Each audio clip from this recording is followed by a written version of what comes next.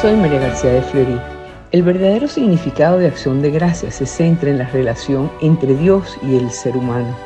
En Estados Unidos se celebra el Día de Acción de Gracias porque a su llegada a lo que es hoy el estado de Massachusetts, los peregrinos compusieron una oración que honraba a Dios reconociéndolo como fiel y agradeciéndole sinceramente por sus abundantes bendiciones.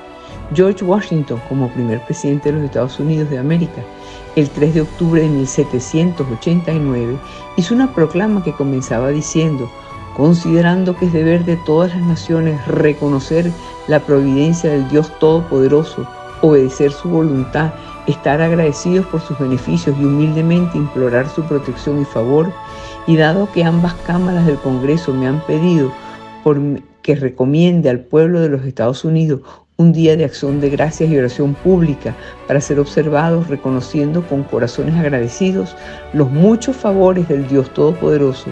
Recomiendo y asigno el cuarto jueves de noviembre para que el pueblo de Estados Unidos siempre lo dedique al servicio de ese ser grande y glorioso que es el autor benéfico de todo el bien que fue, es y será.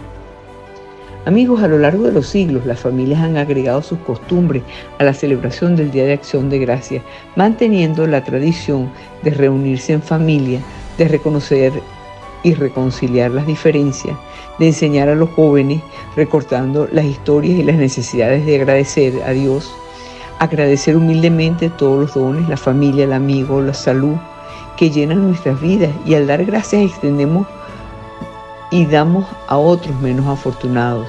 De la abundancia de nuestro corazón podemos ofrecer nuestros recursos para ayudar a otros. El agradecimiento entre personas y para con personas es una virtud sanadora y así lo han reconocido grandes políticos de la humanidad, psicólogos, psiquiatras, la gente en general y son muchos los que saben que el Dios es Dios verdadero. El Dios del Antiguo Testamento es el Dios del Nuevo Testamento. Jesús habló en distintos momentos de la importancia de agradecer.